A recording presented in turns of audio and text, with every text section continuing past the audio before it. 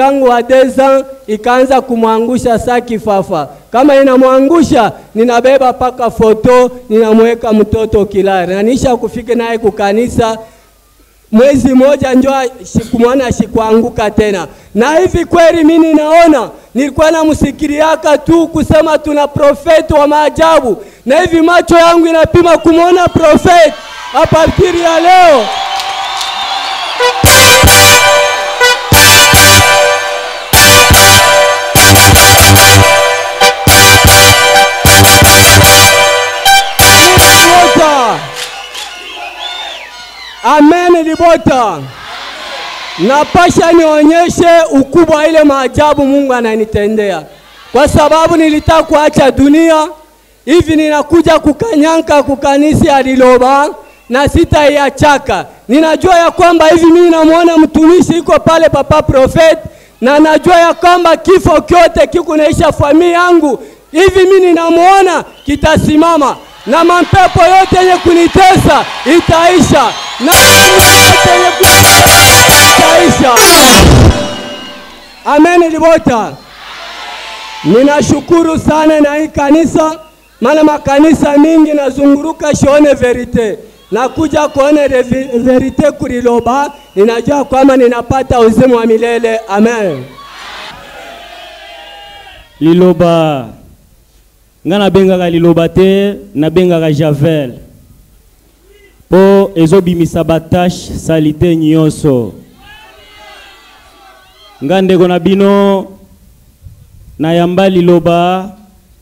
Naza ni gauche ni droite te mais na mawa ya Nzambe tango na yambi liloba liloba ye kolokota nga na biflication nazo waya waya bandeko babwaki baninga bacholi nazalaki mutu moko nayebi na koloba nini te bandeko liloba eza nzambe mpo nzambe soki amonani atikaka signe signe wana nzambe atiki na bomoi na nga ya liboso nano nazalaki motu moko soki nasali eloko ekosimba te soki na propose mosala nakozwa te soki mpe nazwa nazwi mosala yango ekotambola bien te me nakota na eglize ya liloba basakola nga bayebisi nga oza motu moko okozwa boye okozwa boye nazalaki sans position doute ekotaki naza mutu mais Nyonso basali balobaki eye kokokisama. Ndenge nga moboni nga ndeko na bino awa quartier nyonso nazo fanda kombo echange bakomi kobenga nga ndoki batante façon nyonso Nzambe azolongisa. Place nyoso na oleka misapi nde bazotombola tala ndoki wana basali ya liloba bafandisi kindoki epai ya papa wana. Bandeko tosimba liloba liloba eza na ridi te eza na tashe te soki oyambi liloba na ndenge ya solo na misala muke oyo osalela liloba nzambe afutaki nzambe azofuta nga na o nyonso na osenga epa na ye nzambe aozongisela nga bandeko quelque soit tribulation quelque soit mbonge Ndenge na telemi awa liboso ya mutu na Nzambe, kobima na nga lelo na amphitheatre, nyoso wana bakanaki, nayebi ke eza na effet te. Amen. Bandeko na nga, moyen ya ko expliquer makambo nyoso liloba esaleli nga nakozwa ata 3 heures du temps. Na rate baliwa ya ndenge na ndenge, na ba accident nzambe azobikisa nga babeti nga bakake nzambe azobikisa nga nalie poison nzambe abikisi nga en tout cas nayebi nini nakosalela liloba oyo te bandeko naosengaka na nzambe na oyo azopesa nga abakisa mpo nasalela liloba kino suka ya, ya vi na nga amen amen libota ça c'est un témoignage euh, historique quand je regarde l'homme de dieu et je vois ma mère en train de respirer je ne sais pas ce que je peux lui donner. C'était au mois d'août euh, de l'année passée. J'ai eu à faire appel à ma mère euh, de Kananga vers le Bumbashi. Quand elle est arrivée chez moi, elle a fait juste deux jours. Elle est tombée gravement malade. Elle a eu la paralysie totale. Alors, nous sommes entrés avec elle euh, au clinique universitaires. Là, on a fait un mois et quelques jours. J'ai eu à appeler les serviteurs de Dieu. Ils sont entrés là-bas, ils ont prié pour la maman. Ils nous ont mis en contact avec l'homme de Dieu au téléphone. L'homme de Dieu a eu à prier pour, pour la maman au téléphone. Et il m'a dit, si vous avez de la foi, votre maman sera guérie. Il s'est fait que la maman était déjà enterrée depuis Kananga, d'où elle venait. L'homme de Dieu m'avait dit qu'il y a six personnes, parmi lesquelles il y a quatre euh, femmes et deux hommes, qui n'ont pas voulu à ce que ma mère puisse encore exister. Mais si tu as de la foi, quand même, elle sera guérie. il a prié pour la maman et il a fini. Un jour après, je vis un songe. Je suis sur l'étendue de la rivière, une grande rivière toute blanche. Nous sommes en train de marcher avec la maman. Je l'ai tenue euh, en main. Nous avons vu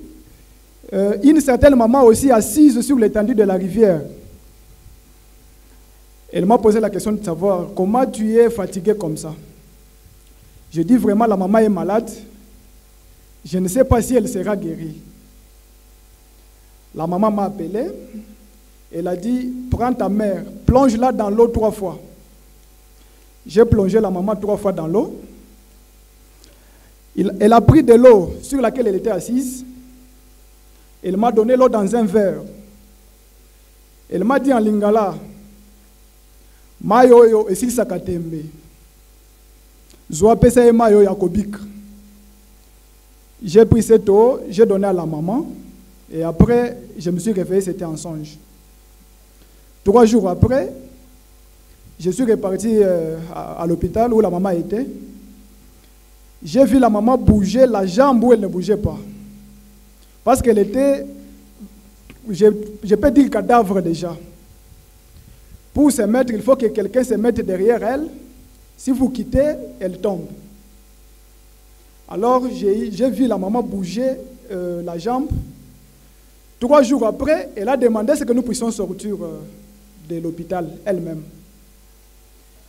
Alors l'homme de Dieu m'avait recommandé de prendre euh, une bouteille de jus. À la place où j'avais payé à peu près 800 000 francs pour les soins qui n'ont rien fait, mais quand même avec une bouteille de jus que la maman avait prise, alors tout s'était terminé. Et une semaine après, nous sommes sortis de l'hôpital.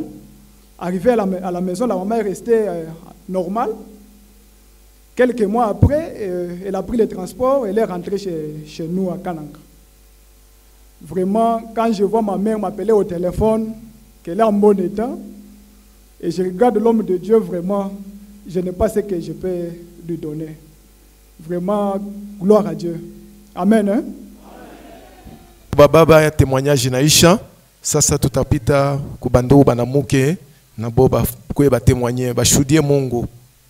Yaka o temoigner. Pona bana ndaku toya luano luano toyaka yango med fois mais tobungi nzoka ezalaki monguni azali kobongisa mission na ye lokola biso toza balongi toyebi nzambo ya solo tokomaki na, na eglise na luano ntango tokomi na luano tokomi tobandi ozela prophète mbala moko mwana alobi ma bopesa biso mbongo tosomba biscuit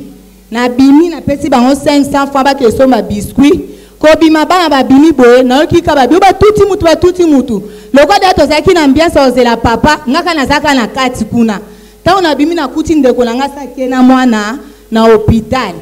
ngai so natui oh, mwana batuti mwana na ngai bandeko bazali babimi mazwa kimia toyebi ke mwana wana bowuti obima na hopitale kaka vendredi yo ozwaka kimia bakei na ndeko na yo eloko moko esala te bakei na basale Nazwaki kimia. Apres naye kolanda, nakuti batongi ye musuni oyo ya lokolo epikwami.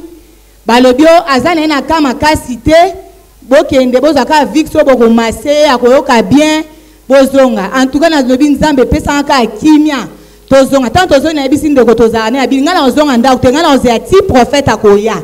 tofandi na lwano 22 heures toyoko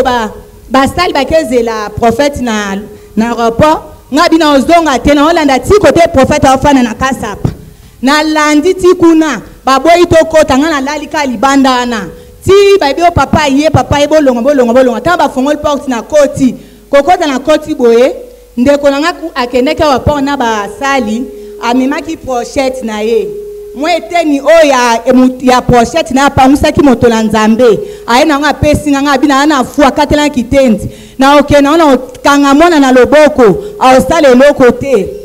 Ale, prophète ayambi biso ba mama apesi biso mbote. Tango apesi nga mbote, nga nazui mbote, na bi mbote na kosimba esu mutu te. Na bandi kolenga bi tango kokende tina ndako na kosimba mwana na nga. kokoma nakomi na ndako na bazeo e eh, natomboli elamba nabandi komase nabandi komase ya binzambe ngai nakomi kote profete afandaka nasengi mama kordo na biso matembe nayebi aiti nasengai matembe te nazalaki na fo nalobi matembe nayebi eke mata na mesa profete naza lokola nazolia na elongo nazondima ngai nde nameli supu oyo ngai nde nabota ye mwana oyo akosala eloko te mwana oyo aza papa aza ofele bayebisi biso nzambe aza papa bofele Prophète aza moto na Nzambe aza lokola papa ya bofele. Nzambe ngai nasengi kimia kati na mwana nga. Nakomi na ndako nasimbi mwana tolali en tout cas tolali na kimio nzima te mwana buka azwi choc ya makasi ngai mpe nayebaki te mwana azwi choc ntongo etani toke na, la, na hôpital babi te fo akota radio kokende tokende akota radio boye baoyebisanga mwana bukani trois place loboko nyonso oyo eza ya kobukana nga alobi nzambe nga nazondima nakangaki motoki ya prophète ata alobi docteur atuni nga mwana oyo alali bien ngabi alali bien tolali kimia ti ntongo ondima kutu te ke naza mwana aza na problème abi te mwana oyo abukani mabe bamipanzi ya kote na ye na maboko eza ya kobukana ndenge nini evimbi te eloti ngai abi ngai na sana ya liloba atuni oyo bolia misu te ngai bie yo oyembaka le 4 etre viva baza na kisa bokonzi oyebaka te ke le 4 etre viva eza, eza makoni ya nzambe bandeko mwana zwi tuna magete wana naza na foi nayebi ke bamipanzi bakoti na ye kozonga yango nakumisi nzambe oyo 2013 ere papa ayaka naza na maladi me yandoyeba maladi te Basali bayebisa nga soki prophète aye luka osolola na ye. Heure papa aye nalandaka ye na golf ayebisi nga bi batie yo nyoka moko ya monene na libumu mpo abanda ovimba mais il faut omela jus nzambe akosala basero na jus banda omonana te nayebisi ye papa jus ezomonana te ayebisi nga jus emonana elekaki te pa meme deux semaine jus batindeli biso na lubumbashi Na seti ji na komo mela ji. Na zaki normal. Er na mandi o mela ji ka bo bimu be bimi kwa puff li bume komi nga mulai. Ba tinyo so ba sutuki. Na komo misa ba salite. Po na nga ando zela ke na bimisa nyoka no papa lobaki. Na komo misa ba salite ji esili. Pas se zo continuer. Ba sali ba bisinga benga prophète. Na zi numero na Angola na bengi mtu na nzambe numero na bando lekate. Siko na ndako na ando vanda. Photo nayo ya loboko ezalaki na mur. Natali photo wana nayebisi na bi ah papa okangi telephone bo swana na nga nga lelo na swana no kaka. Naye olala naye mona na ndoto na olota TV epeli prophète abimi na ecran atuni nga nini na bi ah prophète yo obana nga naza na nyoka sona mili ji nyoka na esila. ayebisi nga bimo lilingi te mete ochan losambo nzambe osala apesi nga limoli tula yo lokola dessin anime atie nga na fula misiko esala ke nazongi kaka na pongi wana nabi e eh, papesi nga lipambo nazwi loboka na se apongi wana na ndoto kaka namipakoli nzoto mobima ezalaki samedi mpo totanisa dimanche nake eglise nayesi concert wandovana nde nayesi ah, lelo naloti papa bisinga ya lokola oloti papa nyoka wana wabongwana kaka okoma mwana nakomi na eglise bazo exhorte ngai bisika nazalaki net baosala ngai delivrance naye zonga na ndako nakoma osuba 10 fois par, par jour masuba moko ya mwindo libumu ekiti ezongi lisusu normal naye kota ekipe ya suivi libumu ebimi ngai lisusu nakepa cordon nayebisi na bi ah okosambela nzambe mpenza oyo osambelaka ke abongwanisa ngai eloko eza kati ya libumu ekoma ata mwana nayebaka aza mwana ou bien malade moko boye so opération nga na nsuka wapi atangisi ma misi ayebisi nga kondima na esalela yo me benga papa lelo ozwa ye esai na butu na ye benga papa eloko alibosa tuni nga abi okendaki hopital na bi te abi kende hopital kota eko sasa bazami nyonso nzambe asalaka apetele nga trois fois nayebisa ba papa nayoki eye esala ke lobi nango naye kende eko nakoti na hopital basala nga ecographie sikoyo ecographie bakomelenge ezalaki ya bato ya zemi te sikoyo docteur na zoto na nga bi ah mpo wana olingi te basala yo eko ya bato ya zemi ngai nasala ngai azala ngai zemi te osala ngai ka eko aseki asali ngai eko asisi enveloppe akangi apesi ngai na ye tuni nini eza nkata bi te yo nzaka na hôpital place bakomelaki yo nde bakoexplike yo nde mbala moko ayebisi ngai ma eloko na oyebisi oyo oza mwa mobali okobota a ah, deja etikali etikali un mois mpo obota na ye ezonga na papier wana na eglise na lakisi basali basali babi ah bino tomona balobi oza na mwana mobali mpo obota eye esala ke nzema ekomi wana deja babi naza na nzema seti mo ata chaussette nasombaki te basala babi nyonso nzambe akosunga okokokisa yango kaka na mwa wana sete mwana ezwa mosala nzambe asungi nasomi biloko mpe ya mwana tu Ki, na somi biloko ya mwana. Ekomi ngonga nga obota 9 mois, libumu ekita te, libumu ekomi mata nga likolo. Ba ekomi oseka nga bi yo, yo obota sikoyo te. Libumu nono ekiti te, nga bi nga na obota, na okomisa na avril te, kaka na mars nde na obota. Et ça, tokomi tokoti église de 30, tokomi église de 30, le 31 boye, na ye obota, na boti mwa mobali, nde mwana obomo na pembeni na nga, yango na yakumisa Nzambe. Amen. amina na butu na papa bango naobetele batémoignage na biso ya liloba alobi ya eglize na bino wana eza ya lokuta lobi na yango mwana ye obunga biso kaka boye tokende eglize basali balobi mwana na ndako bozongaka na ndako na ndako zonga na ndako toluki mwana 20 heures de jupa bapolisier eye baye ozwa ebemba mwana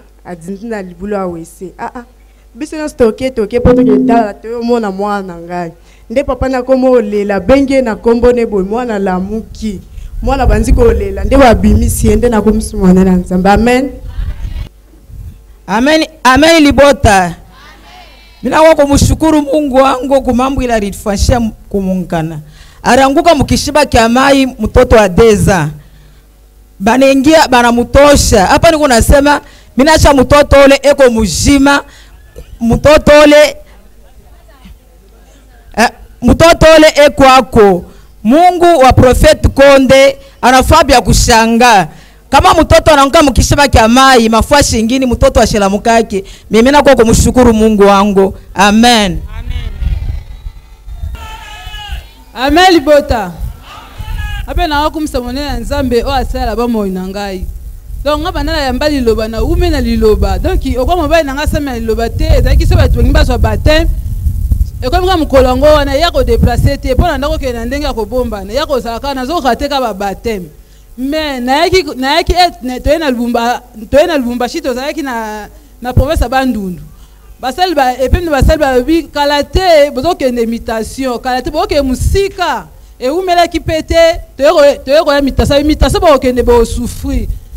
biso tozokende mentere ekataki nyonso donki tokomi kaka konana likolo ya mai bifrikatio efongwama monene ngai na libota mbala kati melai na kondima na kiti na se nabengi basali nalobi nazala kati ya mai awa deja nzambe ye kaka nde asunga mpo nde toza boye naza libota mobima basali bayebisi nga kobanga eloko te oza likolo ya bandeko na yo na miniti akokonte na mwana mosika kuna baniere mosusu ezokita nzoka mpe baniere ezokita eza kompani mwana baniere na biso toya kolongwa wana e, e, ekangami na biso ekomisi biso ilebo me toya kozwa lisusu train mpo tokóma na kananga bandeko makambo nga na mona liloba oyo anayebi te nayebi te nga mpo na liloba bakangela nga biloko na ndako babengana nga me natingama na liloba nayebi te mokoni na kokotika eglise oyo tokóma na nzela train tomati na train bandeko na ngai namonaki mpasi tokei train ezalaki na 32 wagon mbe na ngomba wana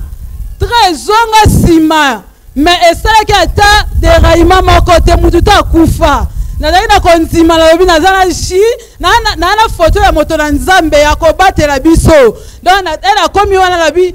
nayebi eloko oyo ekangaki tre wana te ezongisi biso na nsima ezongisi biso ntina nsima mpe tokosi ozali na yango ezalaki ya ba ya ba essence mais moto ebandi kaka mbamba wana na ba, na ba ciment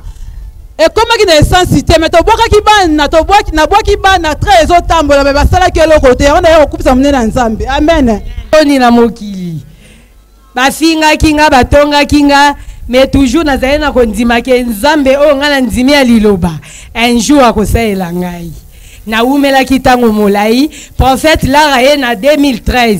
na sense nga mona milobi na bina kokutana na profeti te me oyo ngai nakoloba na motema na ngai yango ekosalama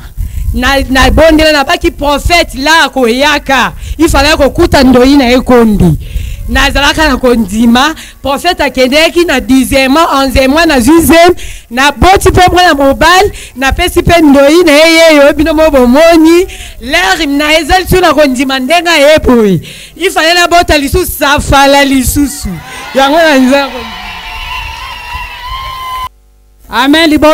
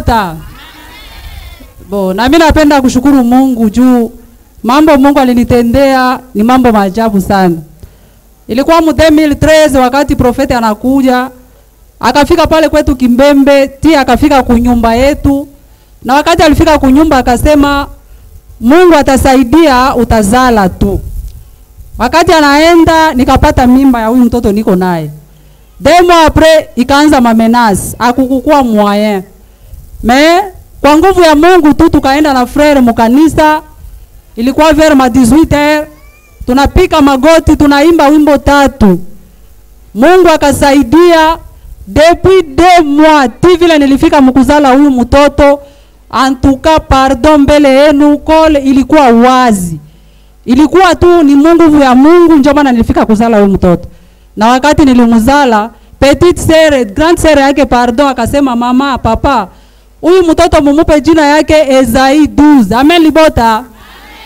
Na depuis pale njo jina yake Ezai 12. Nashukuru Mungu sana. Amen. Amen. Libota. Ngao na yokumisa Nzambe, bonne na Nzambe parce que le 2 août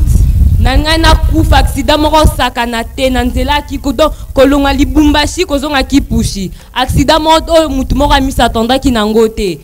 naokumisaka nzambe ntango tokwei nabeleli nkombo ya yesu nzambe ya profete kondo oza wapi namonaki motu na ngai na saa makolo nka lesel motu abimi mobimbi ya ngai moko navanda mpe liboso banso baza nsima babukani bapasuki mitu nde naokumisa nzambe na ngai amen libota amen people of god Yeah.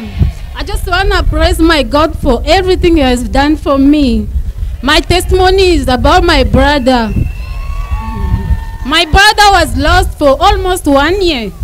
And one of people, one of men of God told us that my brother is still alive, he's not dead. And we were just keep on praying, praying. I was even looking for the prophet's number, but I didn't get it.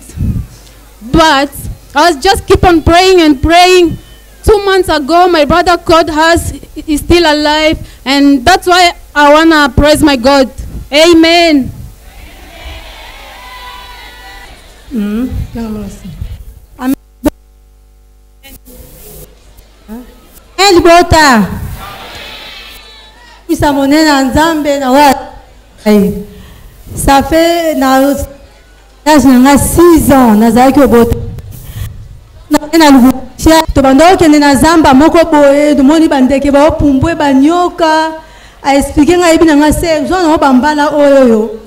moto aneglige yango nazwi mpe bambala nakangi na liputa moko boye natie na motu tobandi okende tobandi okende tokómi esika moko boye abifukama nabondela mpo na yo bandi koyemba ale nafukami alobi na ngai abengi mwana moko ya mortisi abandaki oleka alobi yaka abengi mwana nakomi liboso na ngai bisi ezwa mwa okangisi na libumu na yo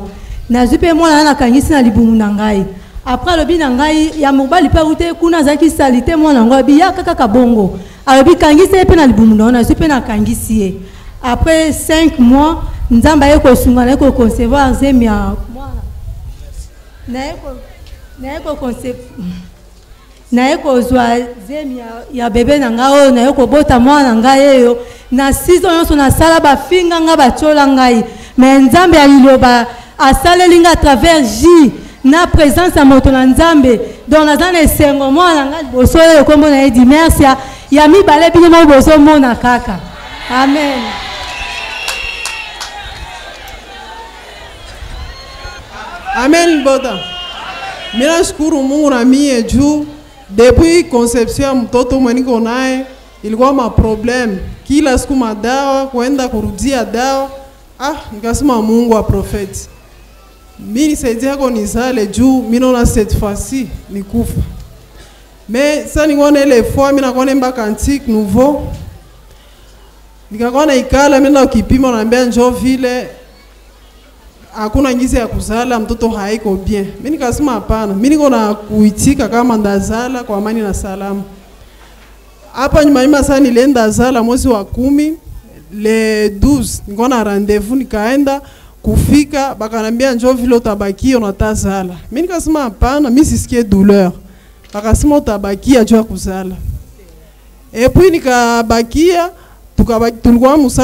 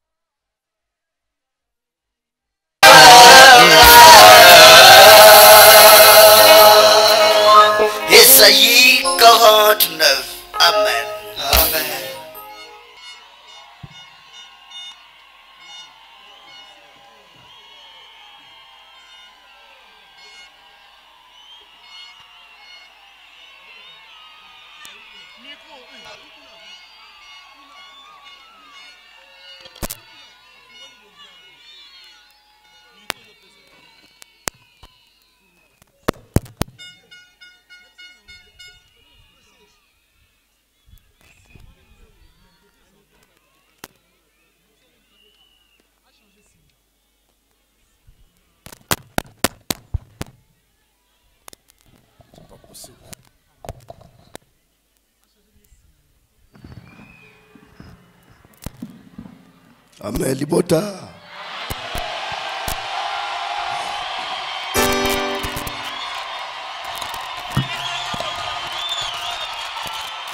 Amen bandeko na Kristo.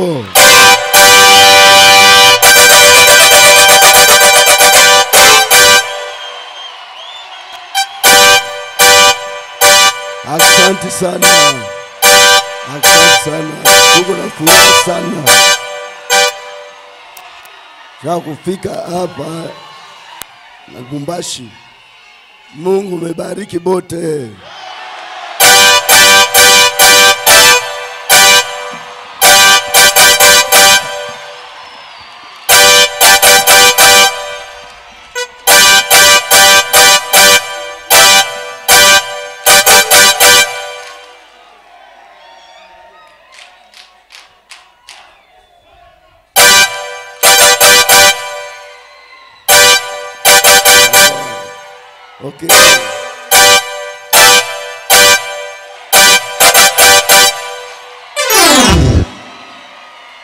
Asante sana.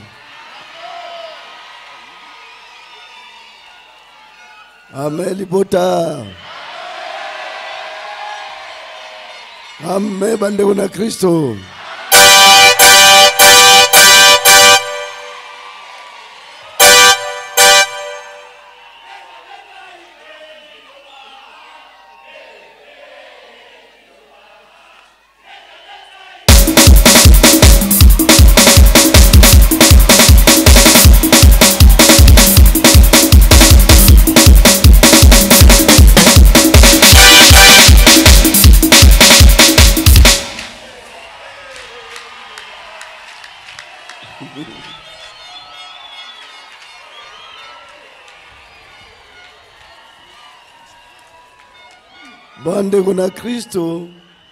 liloba kanisa neno la mungu iko kanisa kweli sana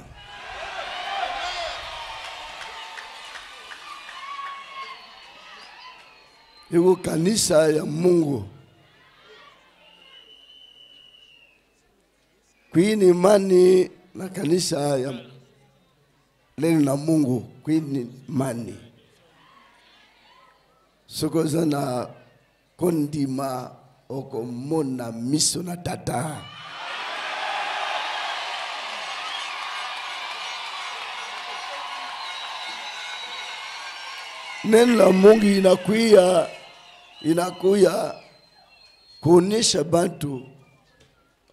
mambo ya kweli.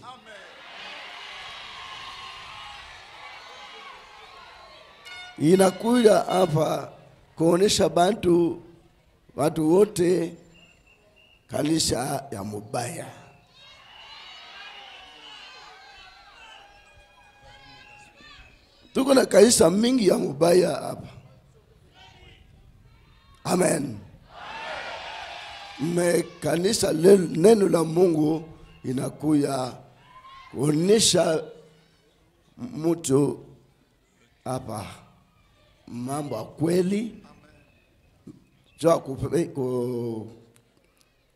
So mpo na kozwa lobiko hein?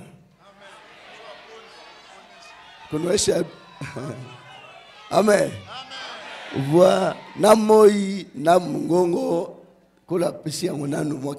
mikakatano mwa tosola bien eza te peut-être ntango tokozonga tunapita uh, zambia tunapita afrique du sud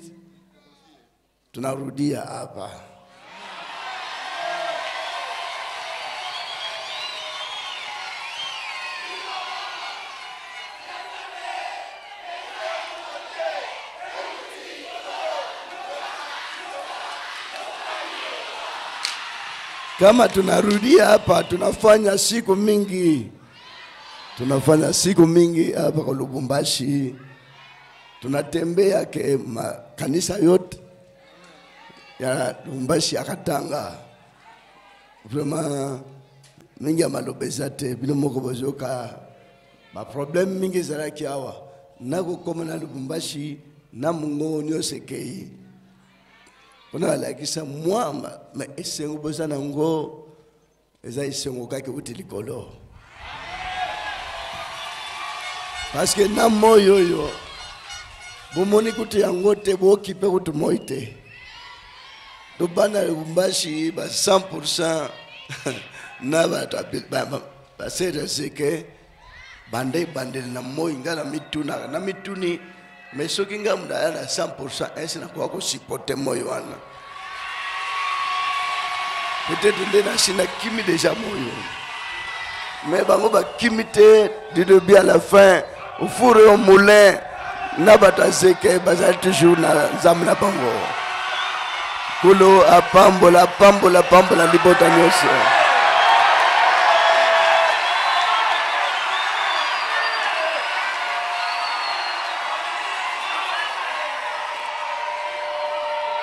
liloba na nzambe na mokili bato mingi na debi bamanda kokomprendre yango te kobotama na kristu na mokili kili même libota même libota israel même libota bajuif ti lelo bacomprendre te ke mobikisi abotamaki kati na bango epai na bango mais quelle confusion epe ti kristo akendeki mingi bakomprenaki ke oyo oh, nde auti kolongwa na kati ya biso aza mobikisi ya solo mais quelle confusion meme liloba ntango eye na mokili bato mingi bamoni yango ndire aventure mais pourquoi le monde est toujours te dans, les, dans la confusion tourbillon ya makambo oyo tata asalaka na mokili les gens ne comprennent pas sauf les élus qui comprennent sauf bino nyonso bato bozali awa baponami nde bozocomprendre parce qu'on a écrit dans la bible aucun de méchant ne comprendra mais ceux qui auront de l'intelligence comprendront donc ndenge bino boza wana tala na moi Monsieur, eza le samba solo te nde bosi balongwaki parce que bosi comprendre que véritable le samba tata eye na moki na mokili parce que loboko na tata so oza na kondima na kati ya liloba nkolo azosa azosala amen bandeko na kristo alors liloba oyo basili kozwa tala ye moko comprehension na clairvoyance ya simeon parce qu'il était clairvoyant il a vécu il demandait que nzambe amonisa ye lobiko ekouta wapi eske akotikala komona mobikisi étant donné que azalaki déjà avancé en âge mais gloire à dieu lokola azalaki na elikya na tata lokola ayebaki eke tata akosemanifeste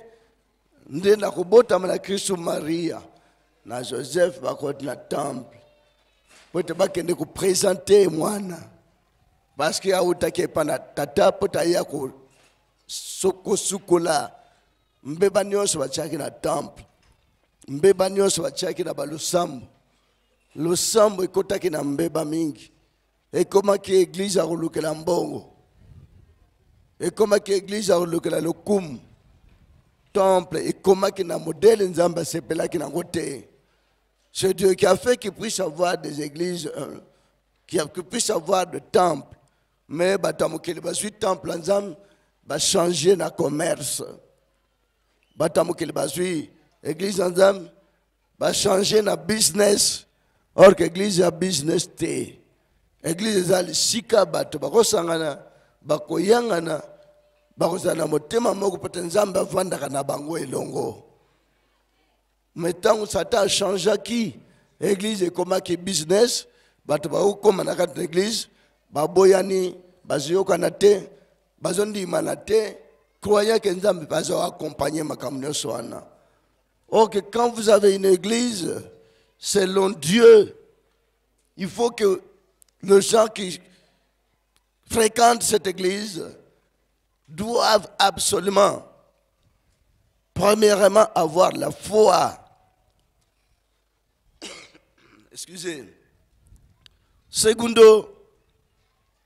faut qu'il y ait l'amour. Tertio, faut qu'il y ait une bonne compréhension. Parce que la foi et l'amour, là où il n'y a pas une bonne compréhension, Dieu ne pourrait même pas s'y trouver. Selon Dieu,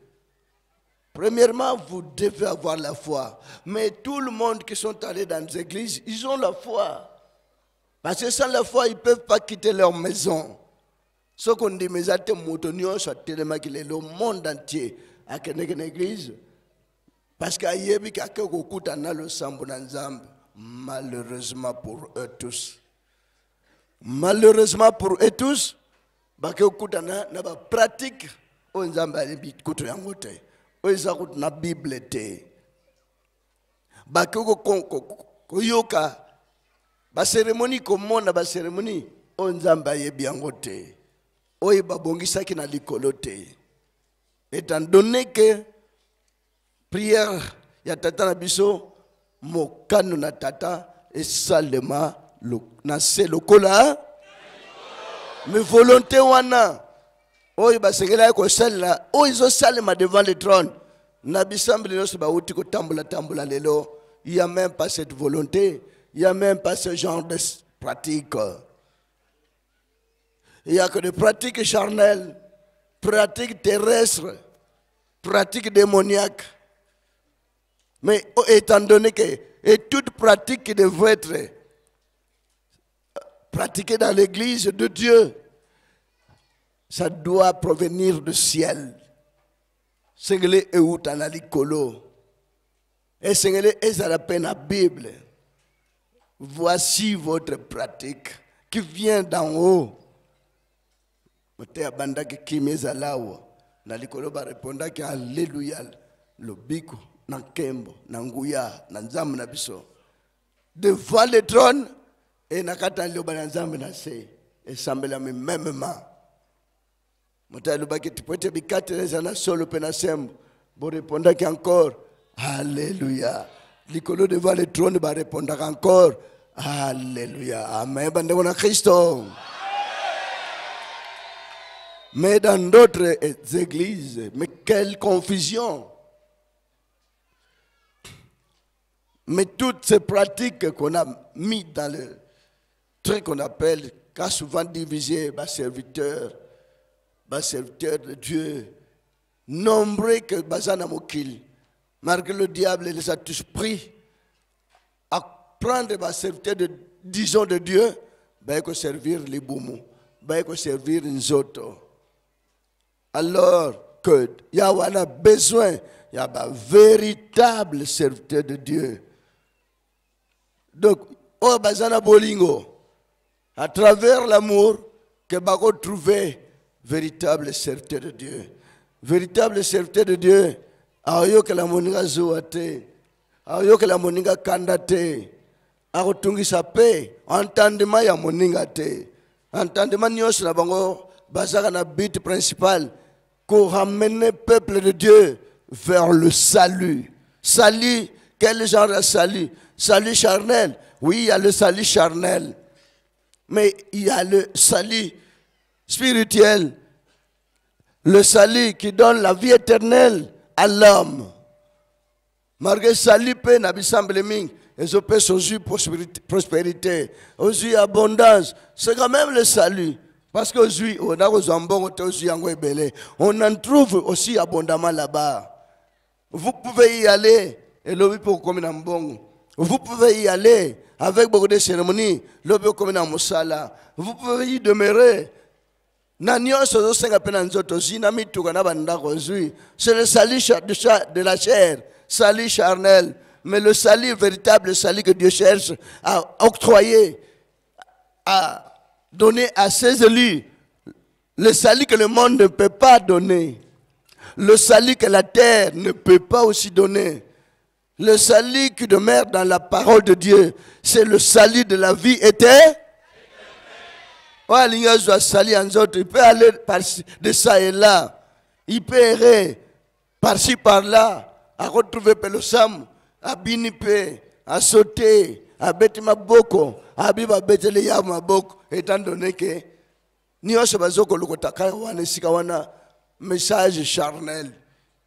oyo ezosepelisa nzoto me message divine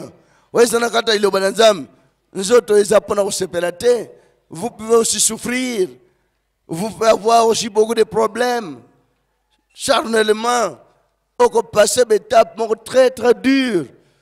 parce que nzambe akokembisa nano nzoto mpo ozwa vie éternelle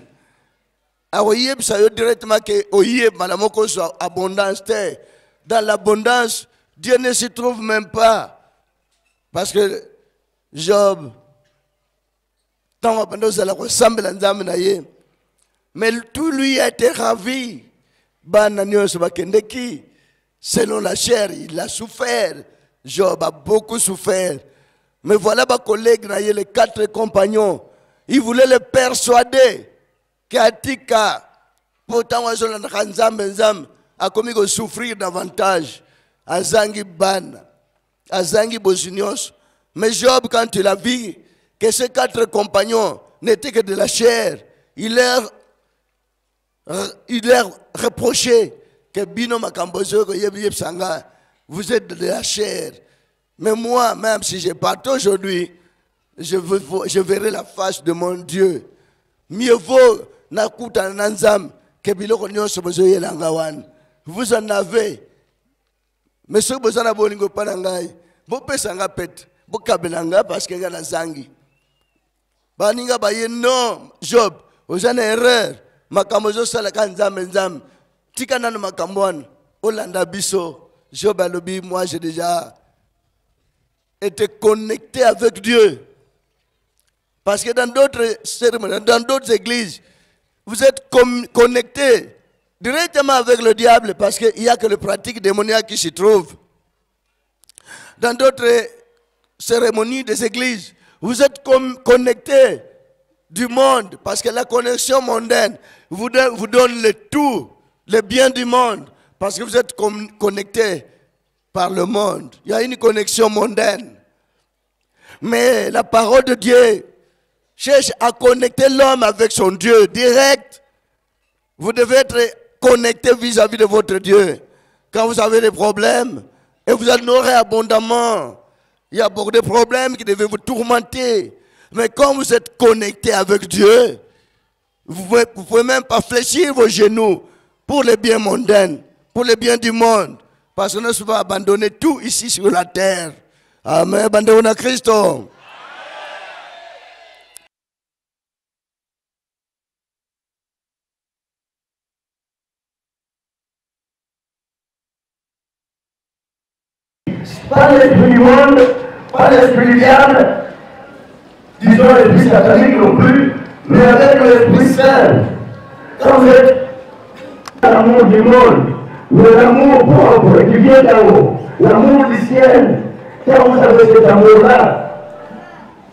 Vous aimez même pas contradicteur à votre prochain. Okolinga kutu te ke moninga nazala problème aza touche na motema mpona langage na yo okolinga meme kutu te ke moninga na azala trouble na mémoire mpona conduite na yo vous allez tout le temps soyez votre conduite Et tout ce qui est là maintenant, ce n'est pas pour perdre votre talent uniquement, mais pour gagner quelque chose. Vous devez tout le monde savoir contrôler votre être, votre existence charnelle. Parce que quand vous contrôlez votre existence elle,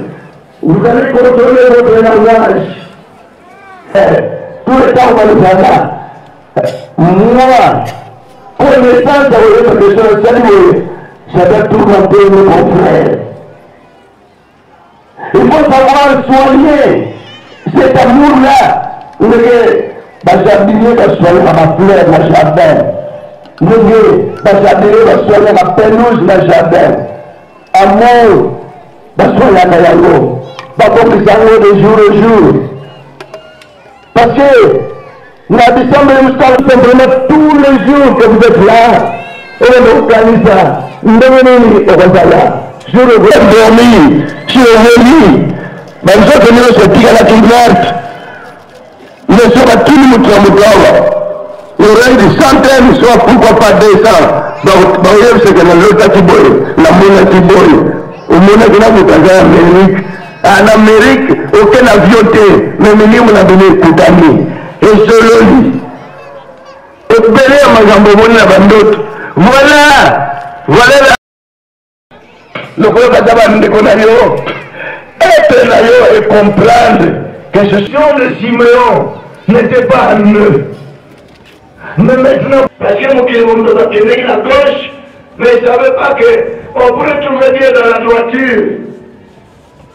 Parce que le monde était dans leur prière.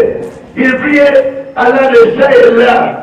Mais vous, votre prière, par contre, vous êtes à la droiture divine. Et quand vous êtes à la droiture divine, vous avez cette intuition qui avait dans Siméon.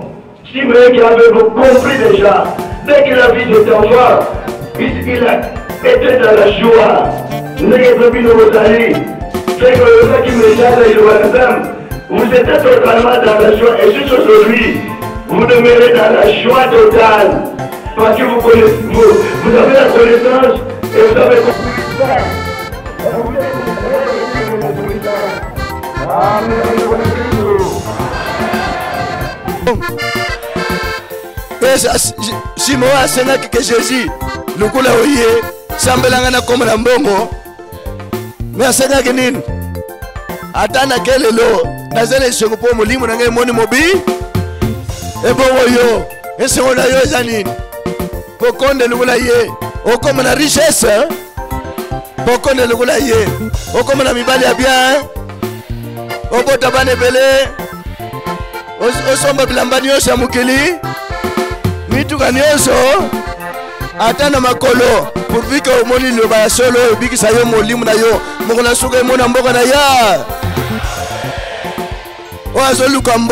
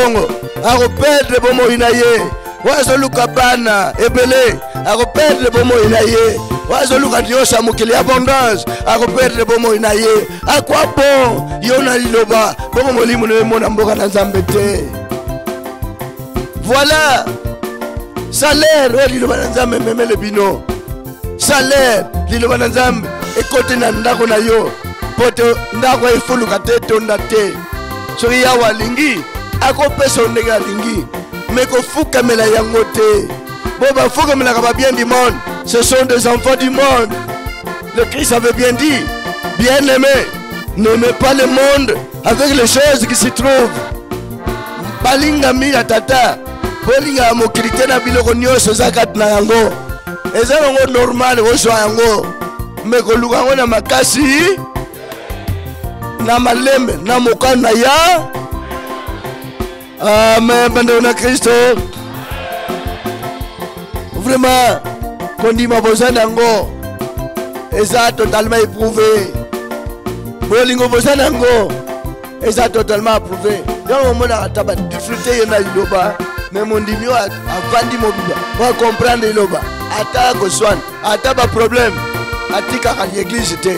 alobaka ngai na kolandaka liloba kino suhu nana olanda liloba mpona amoni profete koni wana osali erreur amen bandeko na kristo landa liloba mpo ete liloba nde lobiko eza liloba nde bomoi eza lobiko ya bomoi ya seko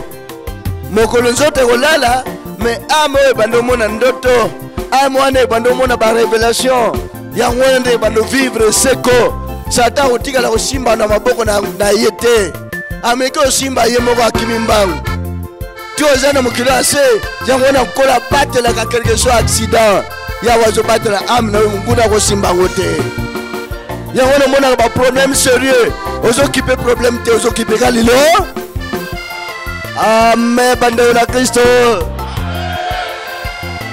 landa liloba mpo na intere moko te landa liloba zala na intuition simeon qui a déjà vu qui a compris que dans cet enfant il y a le salut que dans cet enfant il y aura la contradiction na liloba na nzambe il y a le salut e liloba na nzambe ekocontredire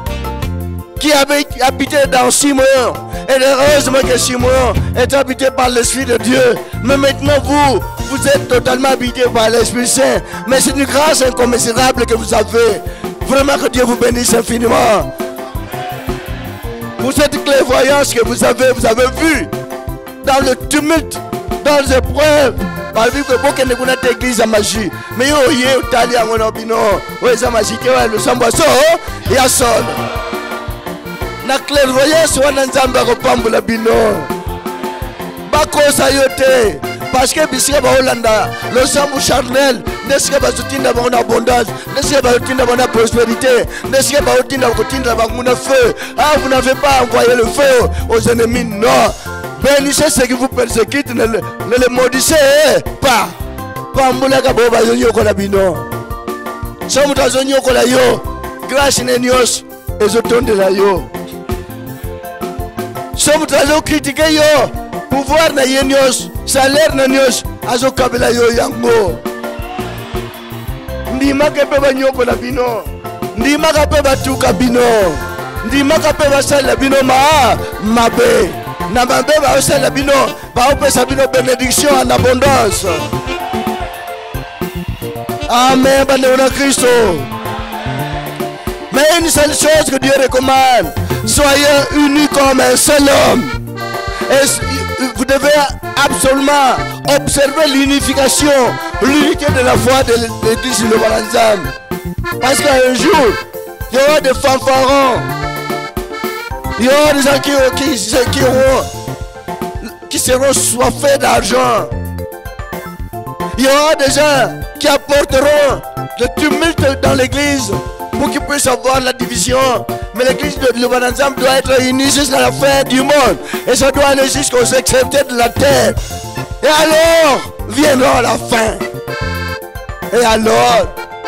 qui aussi là. Et mon deuil et vous allez anéantir par le feu.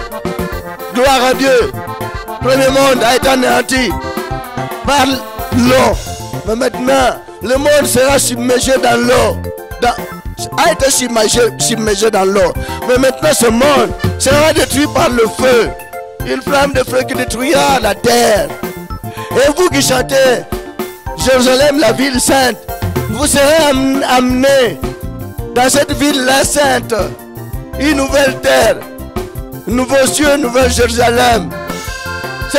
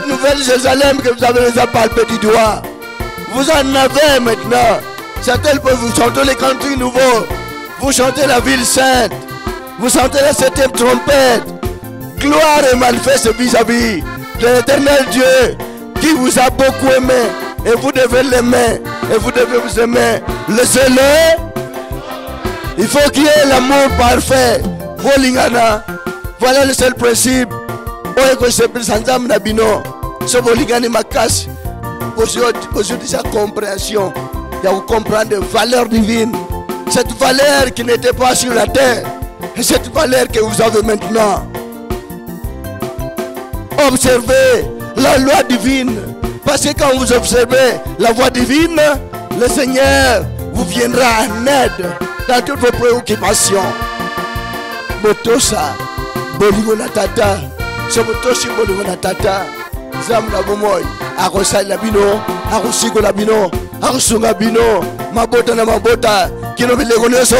seko amen libota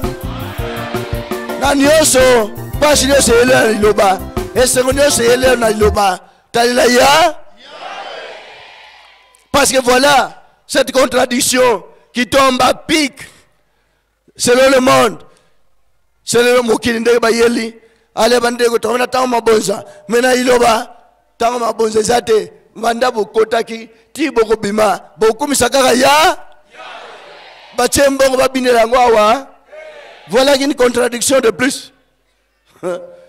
selon le monde ale bato nyonso